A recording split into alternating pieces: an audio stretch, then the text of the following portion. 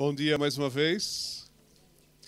Hoje, hoje é o dia dos namorados e quero agradecer a Carla, o Rui e a equipa que fizeram alguma decoração. Tem aqui algumas regras interessantes uh, que, que, recomendo a todo casal dar uma vista de olhos.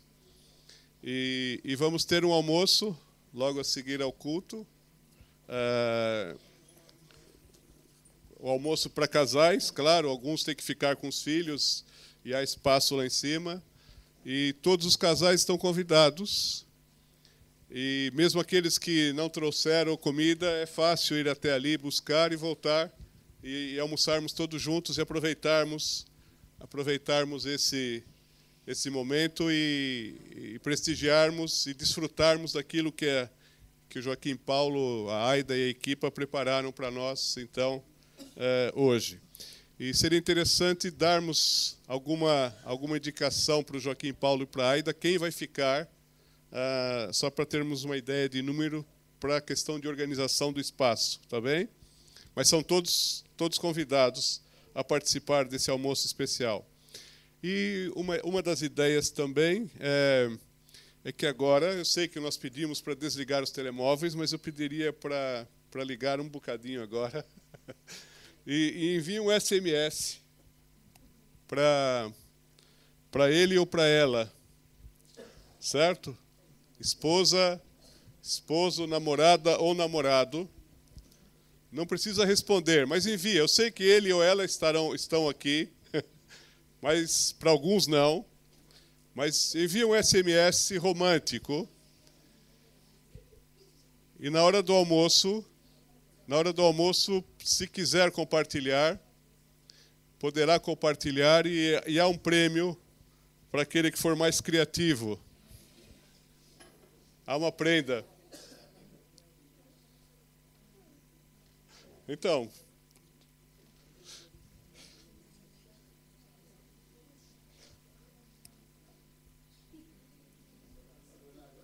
É para mandar agora, sim, sim.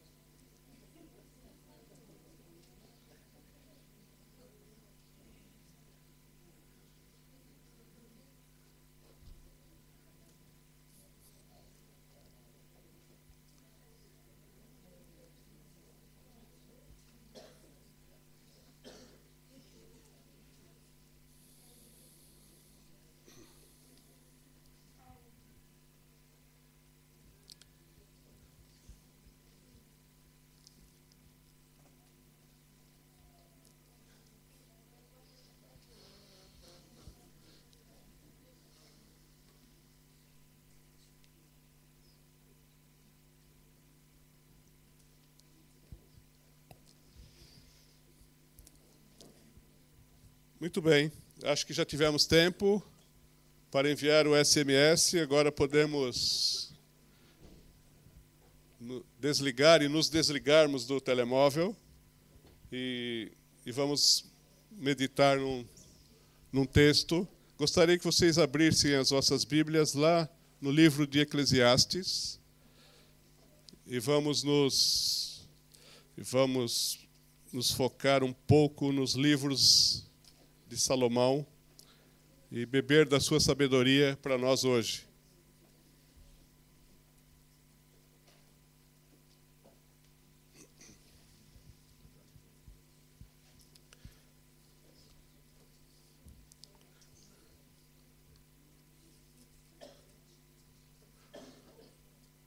Então abre lá em Eclesiastes e nós já vamos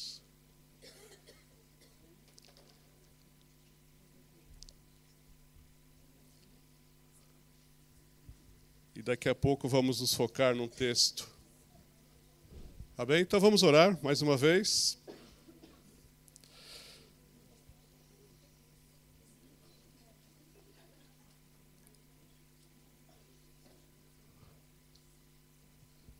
Vamos orar?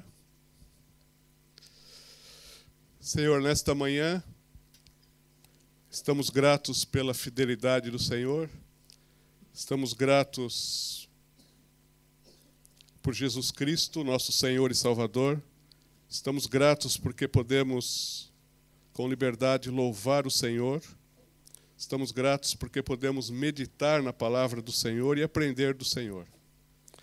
E pedimos, Espírito Santo, toca o nosso coração, fala conosco de uma maneira profunda e muda o nosso viver de acordo com os princípios e valores da tua palavra.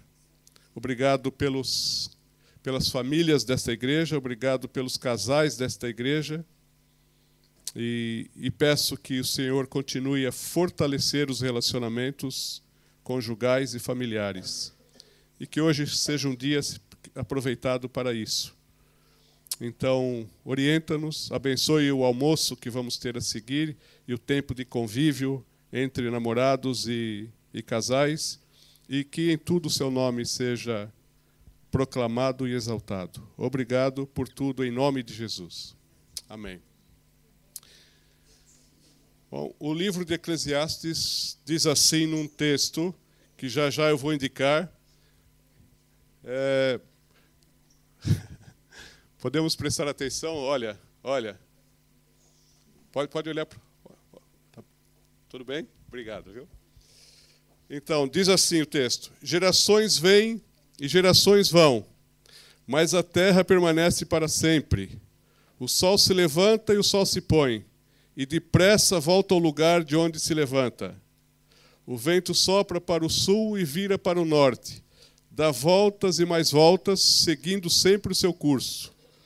Todos os rios vão para o mar, contudo o mar nunca se enche, ainda que sempre corram para lá, para lá voltam a correr.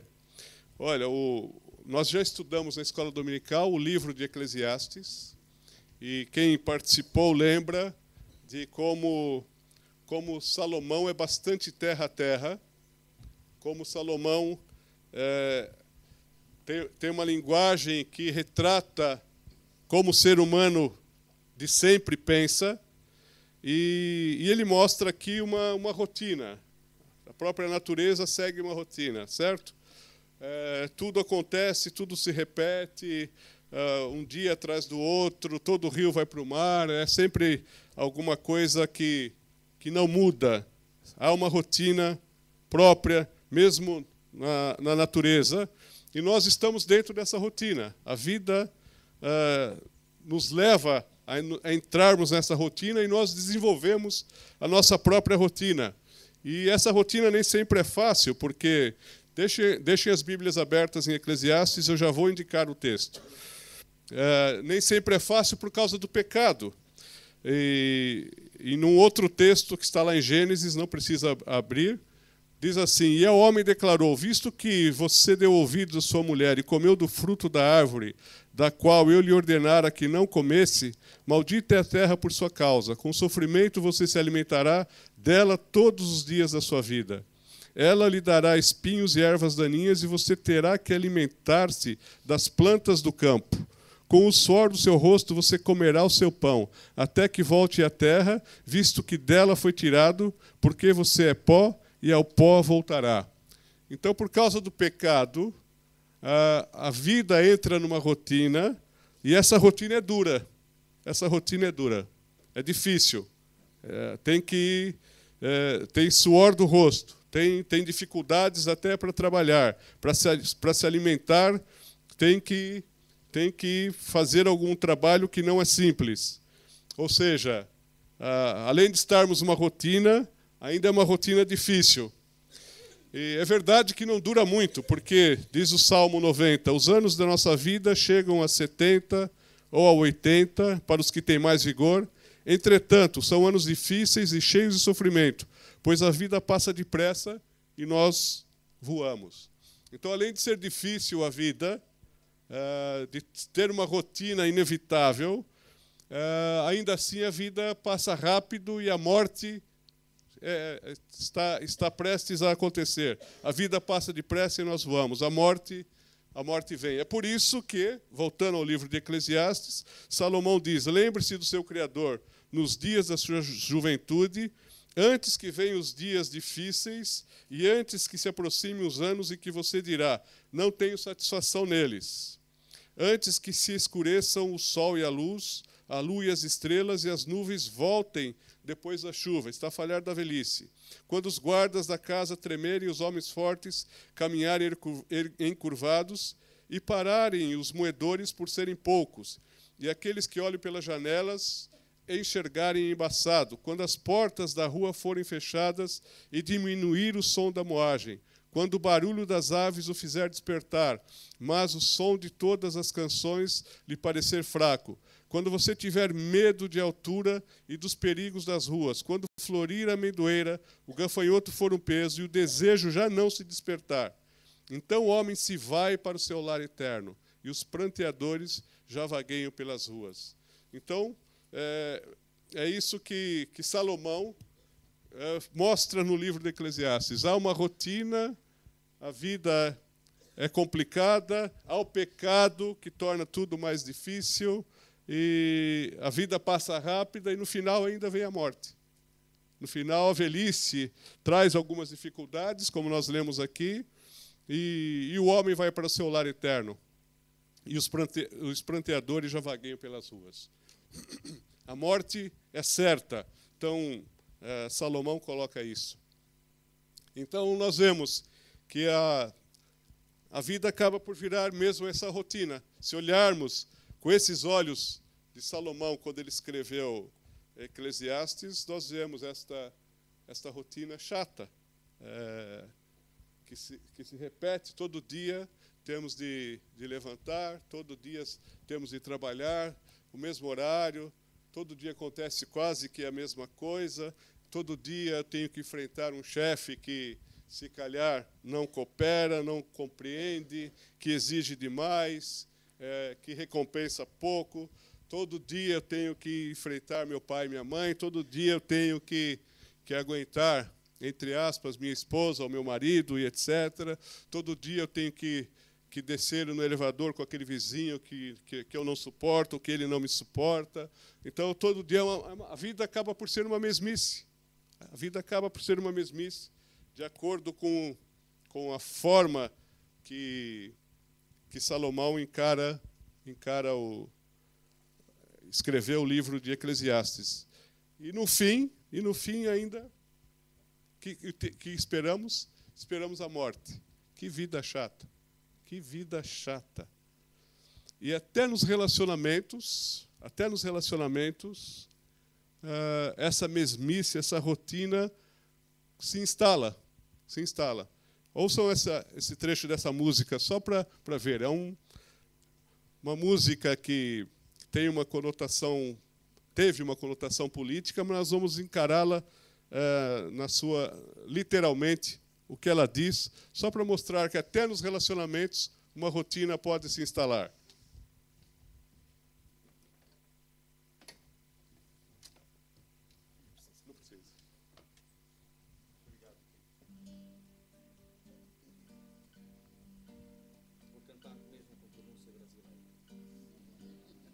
Todo dia ela faz tudo sempre igual. Me sacou às seis horas da manhã sorri um sorriso pontual e me beija com a boca de hortelã. Todo dia ela diz que é pra me cuidar, essas coisas que diz toda mulher. Diz que está me esperando pro jantar e me beija com a boca de café.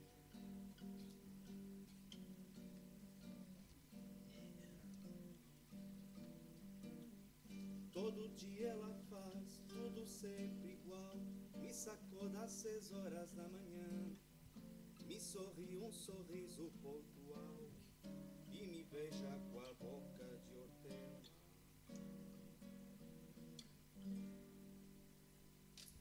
Obrigado, Kim.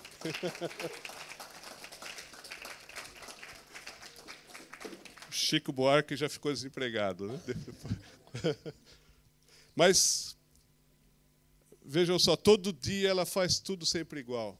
Todo dia. Essa é a rotina. É a rotina. Às vezes, no começo, a relação relação, no começo da relação, os parceiros são românticos, são generosos, são ativos, são bem-humorados, mas com o passar dos anos, a relação, o relacionamento conjugal corre o risco de tornar-se pobre. Perde o, o tempero, perde a conexão, a ligação emocional. E aí nós percebemos que o relacionamento foi engolido pela, pela rotina. Todo dia é sempre igual. A rotina engole, a rotina acaba com qualquer coisa. E, e quando a rotina, então, entra e nós somos, e somos levados pela rotina, então os casais deixam de brincar, de ser tolerantes, já não são mais flexíveis, perdem a criatividade, já não têm a mesma disposição para enfrentar os problemas da vida, não têm a mesma disposição para dar um beijo, para trocar um olhar e para sentir o calor do corpo um do outro. Nós corremos o risco de nos tornarmos escravos da rotina e nos conformamos com isso. E a vida vai. A vida vai sendo levada. Aquela mesmice, aquela rotina, todo dia, é tudo sempre igual. E há um autor que diz que os casais que são engolidos pela rotina tornam-se emocionalmente velhos e envelhecem precocemente o amor, independentemente da idade. O amor envelhece. O amor envelhece. Até casais jovens correm o risco de entrarem rapidamente numa rotina que, que acaba com tudo e que deixa o, o amor, então, envelhecer e, e, e depois acabar. É verdade que há uma rotina inevitável que que temos que, que enfrentar. Mas mesmo Salomão, que nos alerta para essa, para essa vida cheia de rotinas e, e, e, dificuldades, e ele é bastante, vamos assim dizer, terra a terra no livro de Eclesiastes, e nós já vimos isso com mais pormenores algum tempo atrás na escola bíblica dominical, mas mesmo ele, que dá esse tom depressivo à existência, ele aponta algumas saídas para tornar a rotina mais leve ou mesmo para quebrá-la. Nós podemos sair desse todo dia, é tudo a mesma coisa. Nós podemos sair disso e encarar a vida e a própria rotina de uma maneira diferente e, em muitos casos, até quebrar essa rotina que nos paralisa e que e que torna a nossa vida, o nosso relacionamento asfixiado, sufocado e, e prejudicado. Então ele diz o seguinte, vamos lá então, Eclesiastes 9,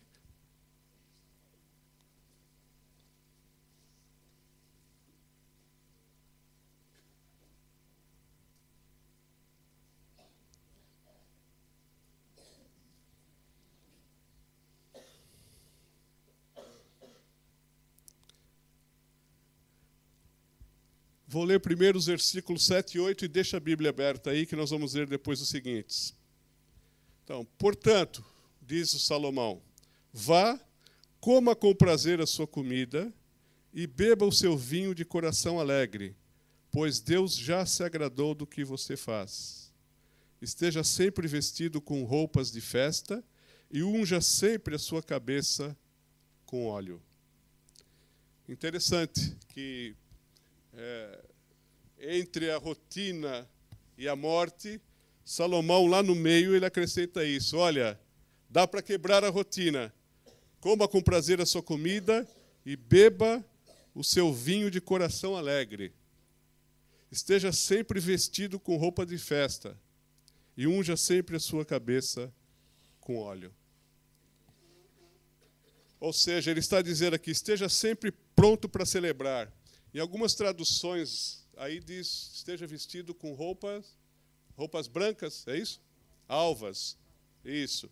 E nas, nas cerimônias, nas festividades que aconteciam, eram as roupas que eram utilizadas. E quando Salomão diz: estejam sempre com roupas de festas ou com roupas alvas ou brancas, ele está dizendo o seguinte: esteja sempre pronto para celebrar. Por quê? Porque não sabe quando vai morrer.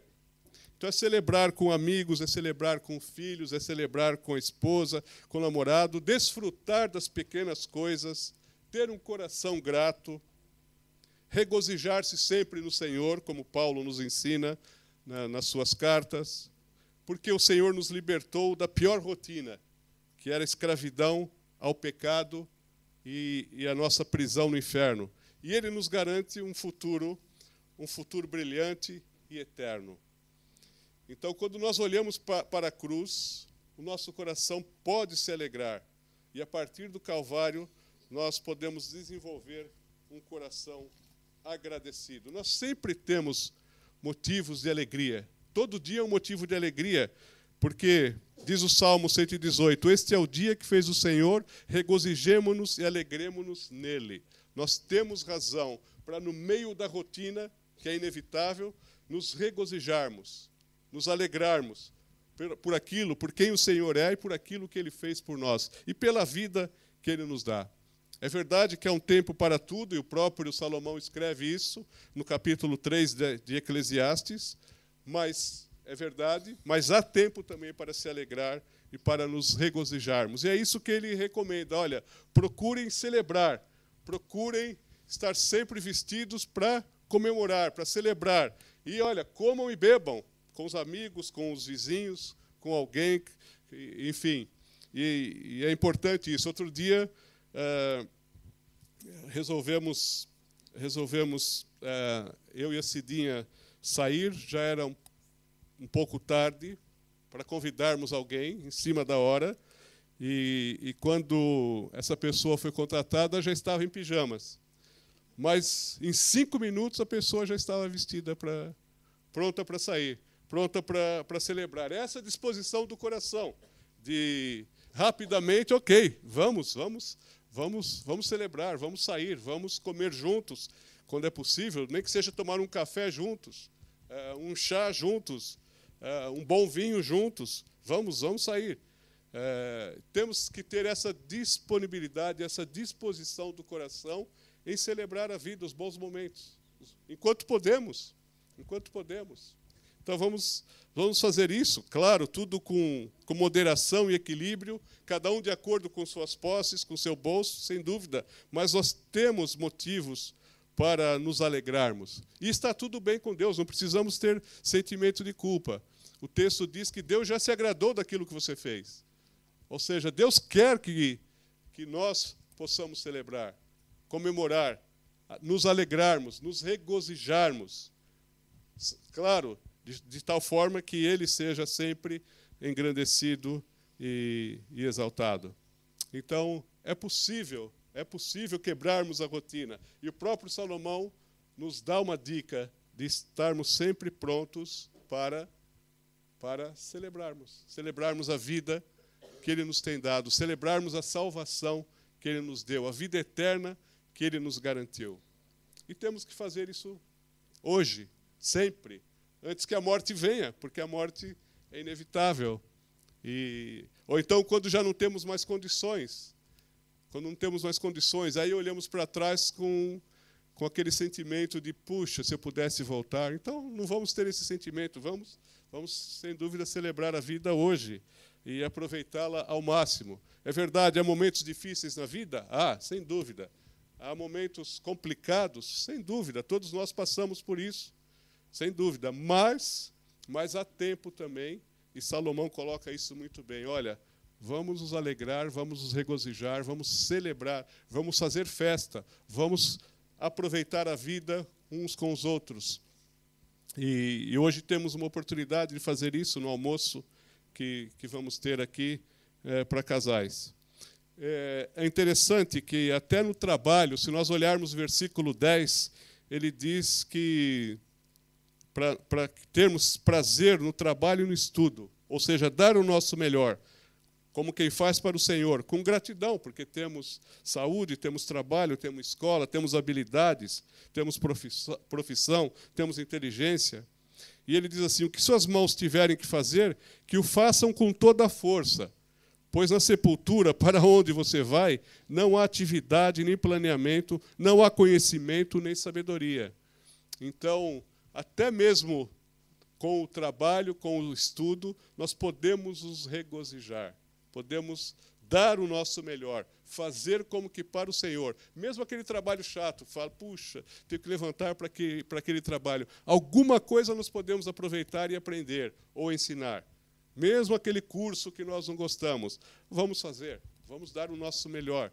Uh, aquela disciplina, aquela cadeira que é mais difícil, vamos dar o nosso melhor, porque há alguma coisa para celebrar. E Salomão nos ensina assim a quebrar aquela rotina que nos sufoca e que nos coloca para baixo. Porque se nós entrarmos naquela todo dia, tudo sempre igual, e aquela mesmice, e começarmos, a nossa tendência é murmurar, é reclamar, e, e ficarmos também depressivos e tristes e decepcionados e, e simplesmente reclamarmos da vida. E ele diz o seguinte: quebra essa rotina, quebra essa rotina e estejam prontos para celebrar. Estejam prontos para celebrar, sempre vestidos para a festa. É o que Salomão nos ensina é, nesse, nesse texto. Mas isso serve para todos, é, sem dúvida. Ah, mas o seu casamento não deve ficar preso ou paralisado pela rotina. Então ele escreveu aí no versículo 9, capítulo 9, versículo 9: Desfrute a vida com a mulher a quem você ama. Todos os dias desta vida, desta vida sem sentido que Deus dá a você debaixo do sol. Todos os seus dias sem sentido, pois essa é sua recompensa na vida pelo seu árduo trabalho debaixo do sol. Então ele está a dizer, além de estarmos sempre prontos para celebração, para comer e beber com com os amigos e, e não só, parentes, os filhos, etc. Ele dá, uma, um, ele dá algo interessante aqui para quebrar a rotina no casamento. Desfrute a vida com a mulher a quem você ama.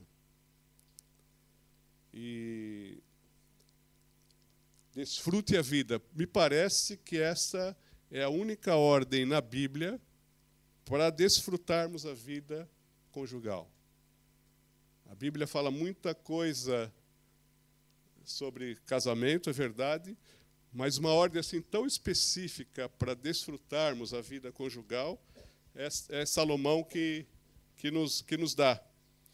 E, e nesse sentido, no sentido de quebrar a rotina da vida desses dias sem sentido aqui que ele, que ele fala, é, algumas ideias que nós podemos extrair de Salomão e alguns autores é, enfatizam essas ideias que eu vou que eu vou listar agora, que eu vou falar agora, e para que a gente possa quebrar um pouco a rotina que pode invadir os nossos relacionamentos conjugais, os nossos casamentos. E, e ao quebrar essa rotina, podemos seguir esse conselho sábio de desfrutar mais uh, do nosso relacionamento conjugal.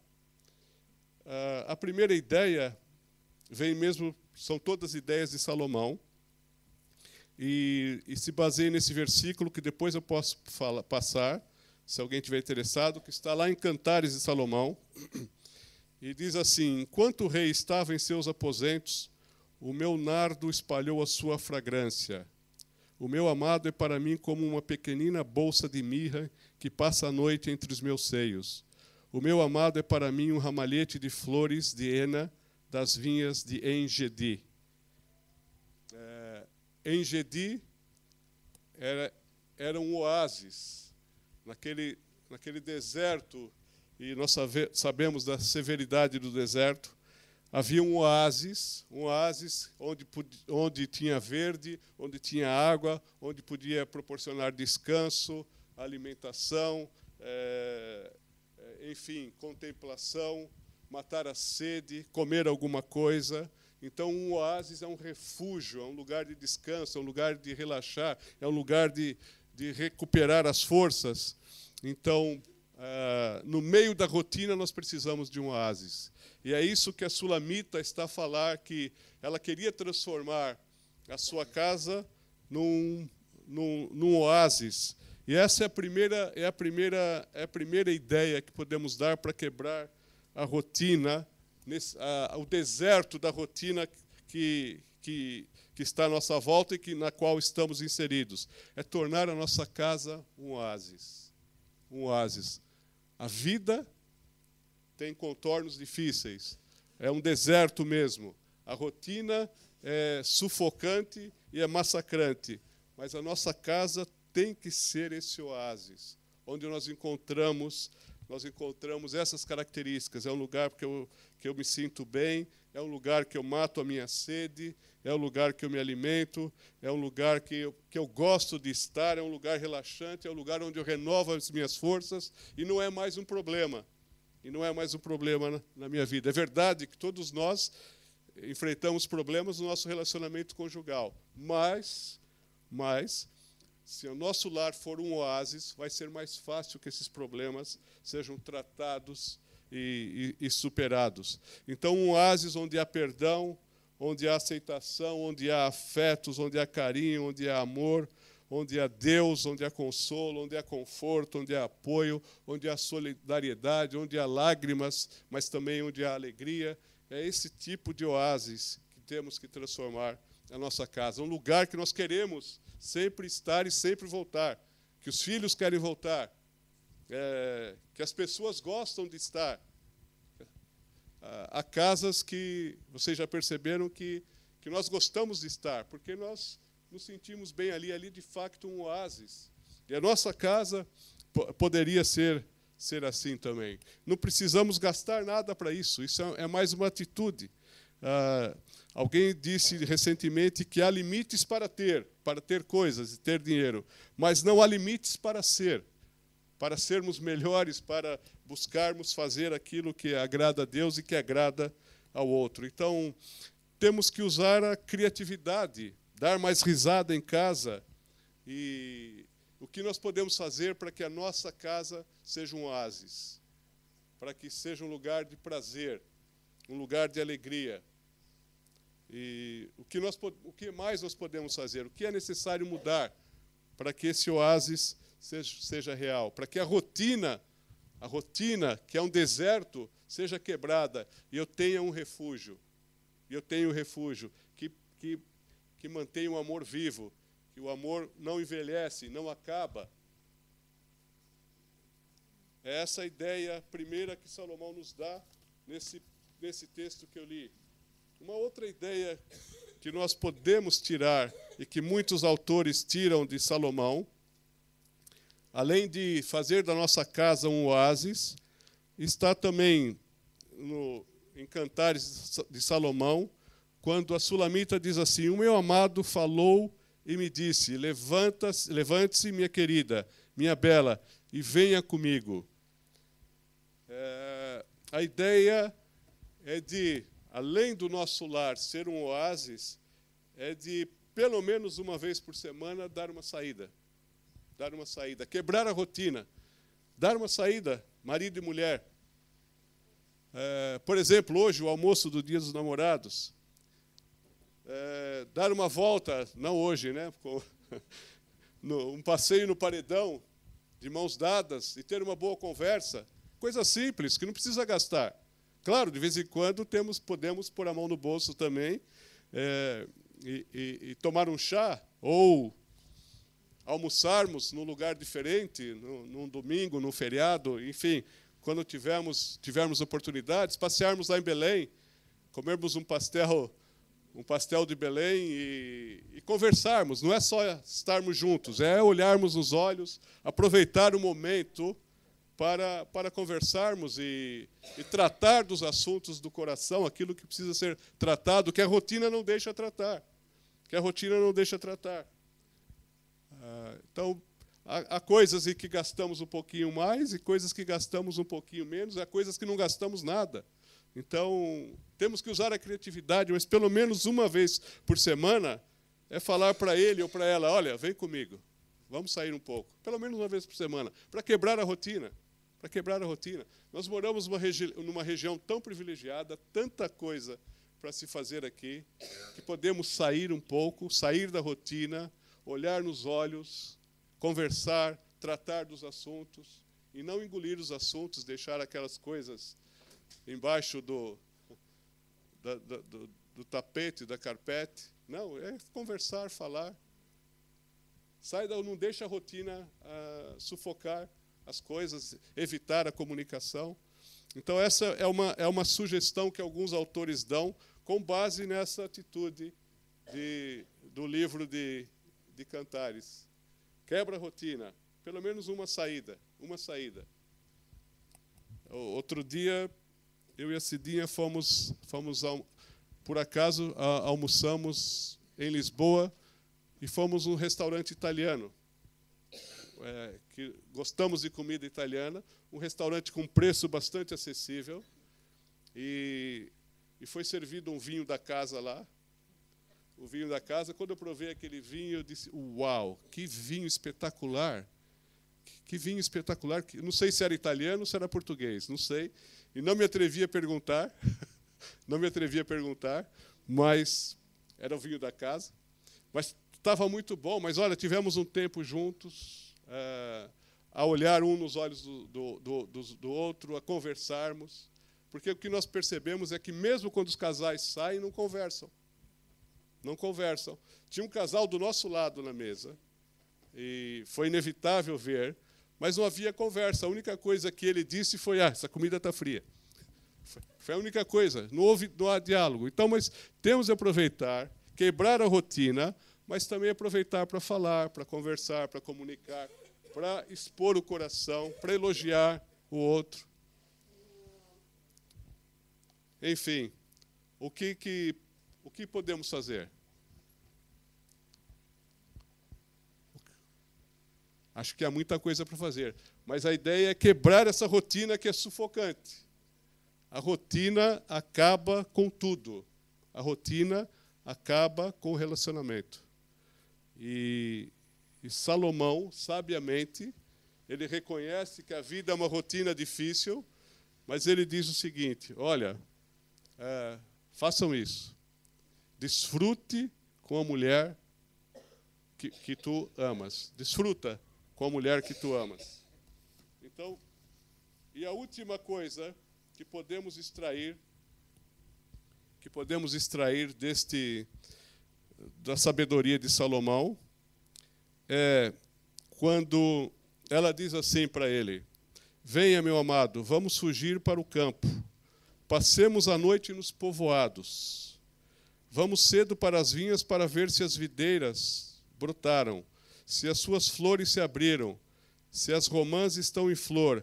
Ali eu lhe darei eu te darei o meu amor.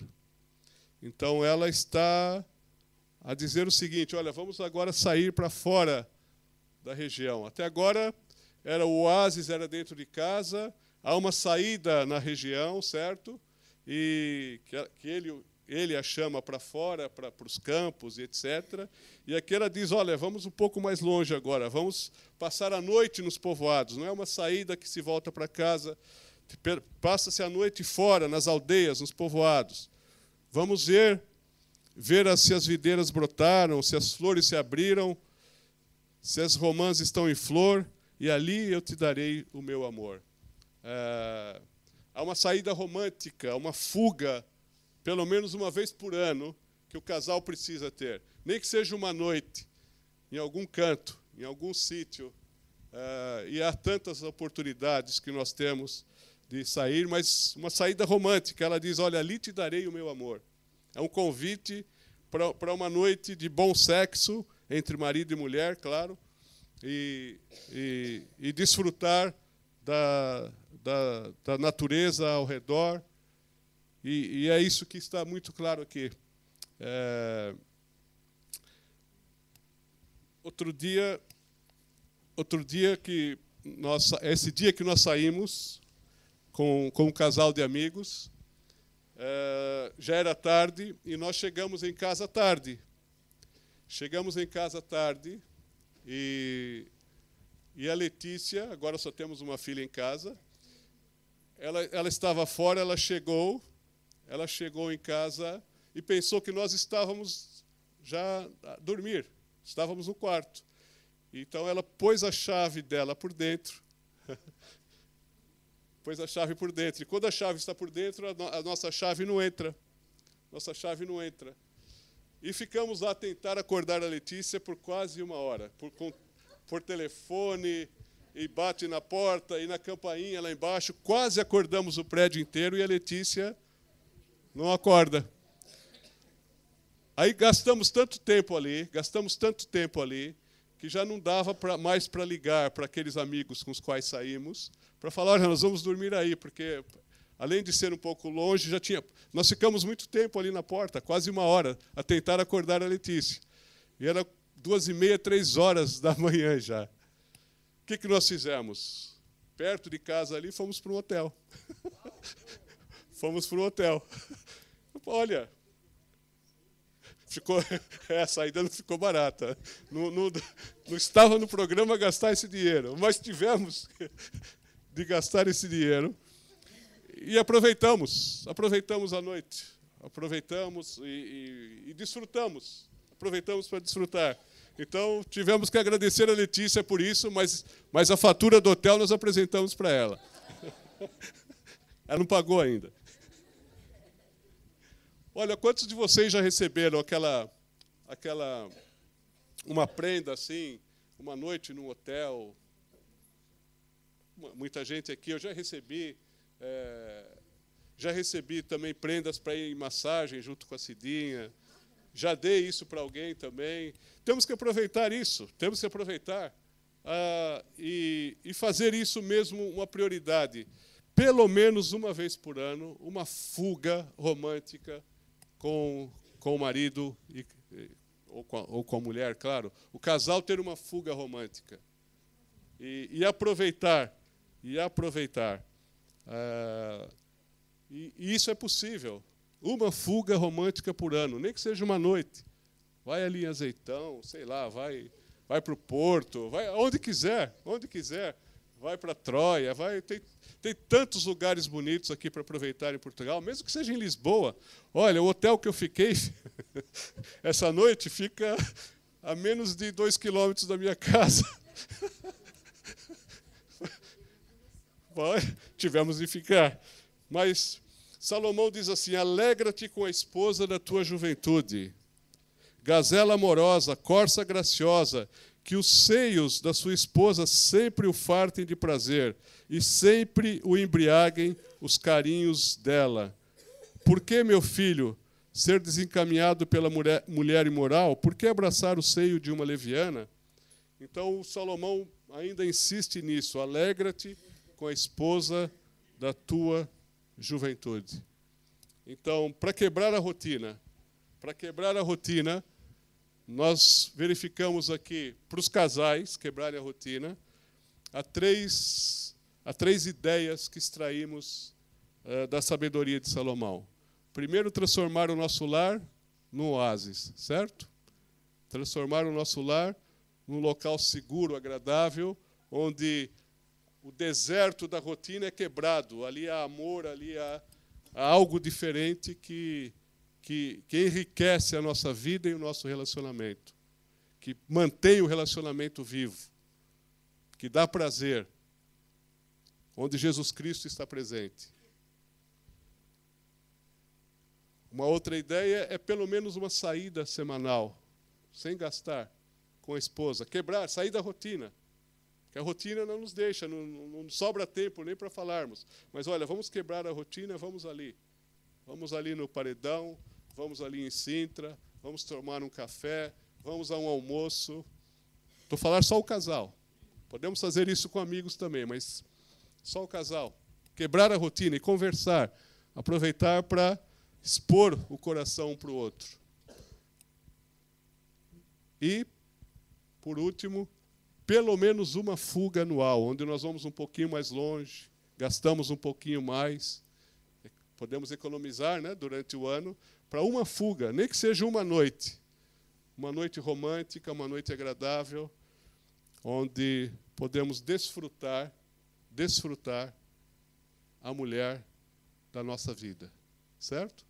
A companheira da juventude, aquela que nós amamos e cujo amor queremos queremos preservar e manter. E não deixar que a rotina acabe ou envelheça o amor. São três ideias que extraímos de Salomão. Sejam criativos para ter outras ideias, para quebrar a rotina da vida. Porque a rotina da vida acaba com tudo. Acaba com tudo. E por isso, Salomão, sabiamente, nos dá dicas de quebrarmos a rotina para desfrutarmos a vida. Há tempo para tudo. Há tempo também para desfrutar a vida. A vida com os amigos e, particularmente, a vida conjugal. Tá bem? Então, olha, para depois aprendermos um pouquinho mais, temos o almoço e uma tarde agradável com, com, com os casais. É, e são todos convidados, repito. Vamos orar a esse respeito? Pode orar, Tiago, por favor?